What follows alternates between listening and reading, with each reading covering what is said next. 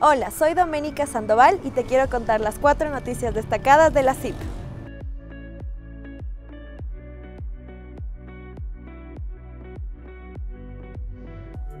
Ante los últimos acontecimientos violentos que ha sufrido el país, la Cámara se pronunció.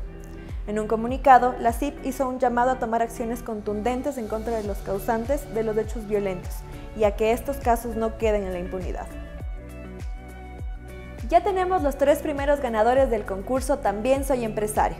Ellos son Rucumama, Saidi, Academia de Emprendedores y el Emprendimiento de Ají.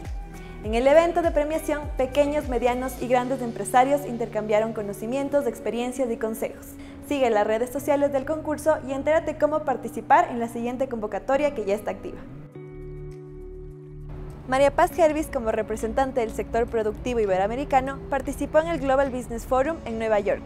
Este encuentro permitió reafirmar el compromiso del sector privado y fortalecer las alianzas para cumplir los objetivos de desarrollo sostenible en el marco de la Agenda 2030.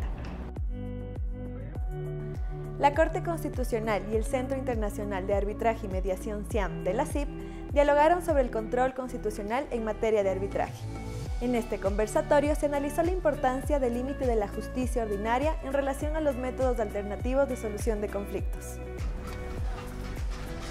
Gracias por acompañarnos. No te pierdas nuestra siguiente edición en la que te contaremos sobre nuestra campaña de Propuestas para un Ecuador con menos brechas.